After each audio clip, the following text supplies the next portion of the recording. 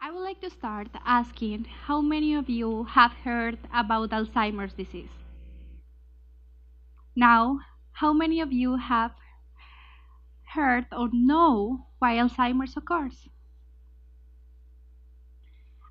I will say that this is a remaining question that the neuroscience community is still looking for an answer. Therefore, there is no cure for this condition. Today, I want you to forget everything you know about Alzheimer's. Forget every previous idea and open your mind to the idea I will present to you today. And to talk about this idea, we should start thinking about memory. We all know that memory is important to set our future actions and also to make connections with others, to make relationships. But how do we remember? How is that process by which our experiences are converted in memories? Think back to a really vivid memory. Close your eyes and think in a memory that you have from few years ago and you still keep in your mind.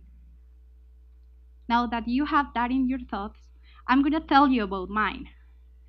One year ago, coming back from Saskatoon to Regina, I was with all my lab partners and we got the worst experience that we could have in winter. That was my very first winter, and we got in a really icy and slippery highway. Suddenly, we lost the control of the car and we flipped we flipped twice. And let me tell you that that happened one year ago, and I still remember everything. I remember my struggle to get out of the car because um, the side door was destroyed. I remember the cold weather when I was walking to reach the ambulance. I remember everything. You also thought in your really vivid memory. Now try to get what you got for lunch three weeks ago. Memory, maybe you don't remember that. But how's that? How's that that we can remember some things so well and not others?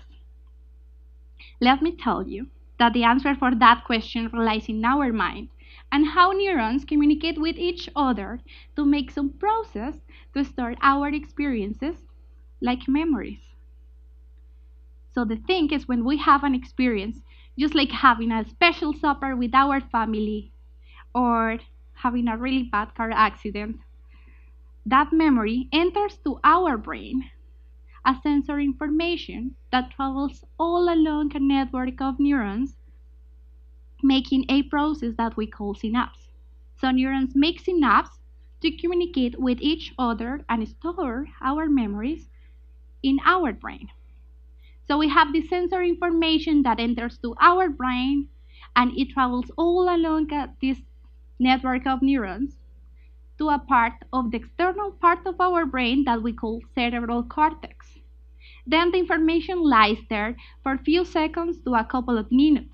But if that memory is strong enough, we can transfer that memory from the cerebral cortex to a mid part of our brain that we call hippocampus. The hippocampus is a main part that can transfer that memory back to the cerebral cortex to be stored as long term. So this is showing us how important is the hippocampus to store our memories as long term. So it's important for long term consolidation. But we didn't know that until one time in 1952, Dr. Milner and Dr. Scoville took away the hippocampus of a patient that we know HM. This sounds brutal, but they did this because they want to, hit, to help him with some bad epileptic episodes. And they actually help him because when they took away his hippocampus, that patient didn't suffer from more epileptic episodes. But all surprised that after this he couldn't remember anymore. He couldn't retain information for more than 20 minutes he couldn't retrieve information that he had from before, but he was still able to make mechanical skills such as riding a bike. So this is showing us that the hippocampus is really essential to store our memories as long term, but there are still certain regions in our brain that help us to keep some mechanical skills that we need, for example, to ride a bike. So far, our best approach to understand how the hippocampus works and how we store memories as long term is a process that we call long term potentiation or LTP. Long term potentiation is just the process by which two neurons communicate over and over again to store our memories as long term. And that happened to me when I had that car accident, and that happened to you with that special moment that you have. And this also explains how we learn by repetition. Every time that we repeat information over and over again, our neurons are communicating over and over again, increasing the efficiency of that communication by repeated stimulation. So this is how we store memories as long term. But what happens when Alzheimer's disease occurs? How does it occur? How can this just rob our memories and erode them like sand? To know that, we should be conscious that Alzheimer's is the most common type of dementia, a condition that affects more than 50 million of people suffering from this disease around the world. Although Alzheimer's is related to seniors, this could happen in any population under the 65 years old. This could happen even um, in younger population before the 40s. And this condition just gets worse when we realize that every 24 hours 10 people in Saskatchewan are diagnosed with dementia, which in most of the cases we are talking about Alzheimer's or Parkinson's disease. Alzheimer is called the long goodbye because this gradually decreases the, eh, and produces the declining cognition of patients. And the, although this declining cognition entirely depends on the patient, we have certain stages that we could consider here. So in the early stages is when the first changes in the brain occurs. So declining thinking, cognition, and also confusion occurs and the person start asking the same questions over and over. They forget plans, decisions, names, their keys, and they could suffer from insomnia, depression, and their social abilities just get lost. They could also can lose their autonomy. They will need help for basic daily tasks such as speaking, walking, eating, or dressing up later. They cannot control their movements. They cannot smile. They don't have facial expressions. And at the end, they cannot recognize their loved ones. This is a really sad a final stage because their symptoms can lead the patient to die. We don't know completely how this happened, but what we know is how a brain with Alzheimer's look in comparison with a brain with, uh, a normal brain. As you can see here, a brain with Alzheimer's is smaller and is, it has some toxic components that make the cells die. So because the cells are dying, we are losing a lot of tissue.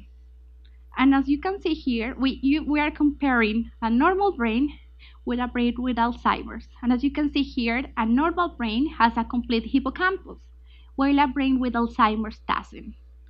That means, and this is actually how Alzheimer's starts. This starts in the hippocampus. So neurons die, and we don't have cells that can communicate with each other with a pulse of electrical energy to store our memories, to make long-term potentiation, and then we don't have memories anymore.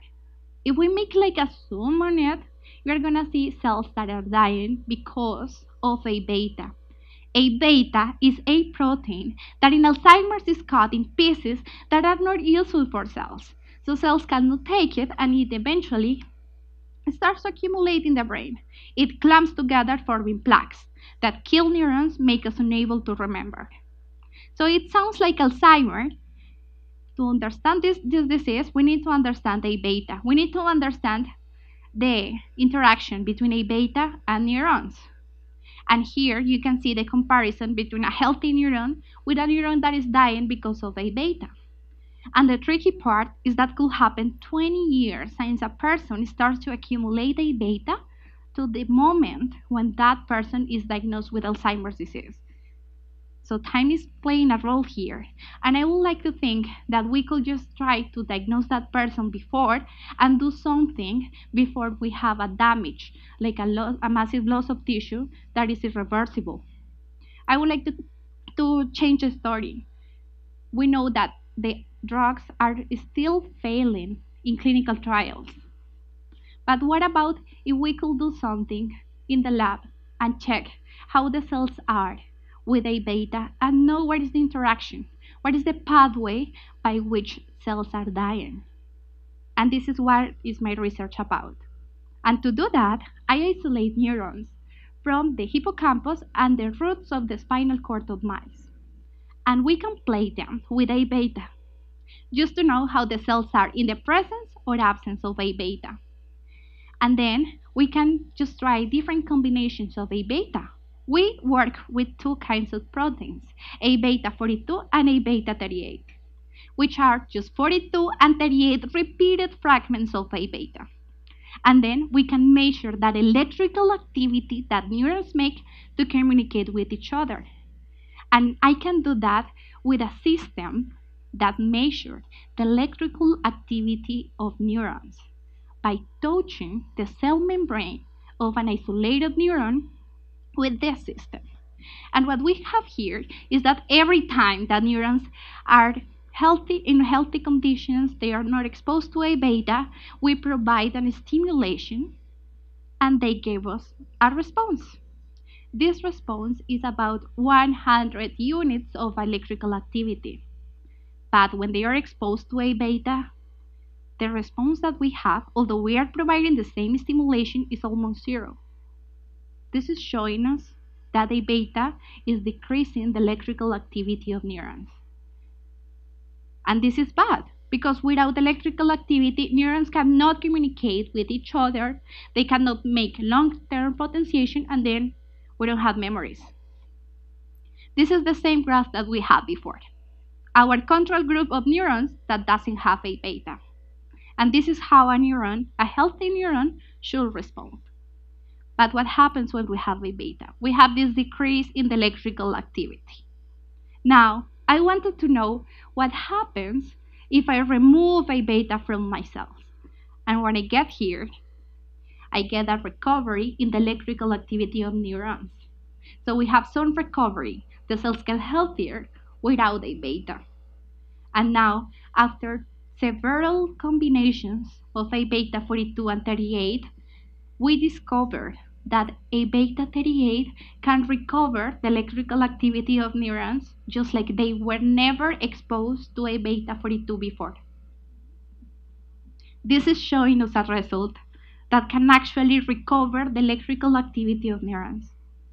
This could also explain the interaction between A beta and neurons, and maybe after some treatments we could block what is happening in Alzheimer's to help to help you guys to help also the people that are suffering from Alzheimer's.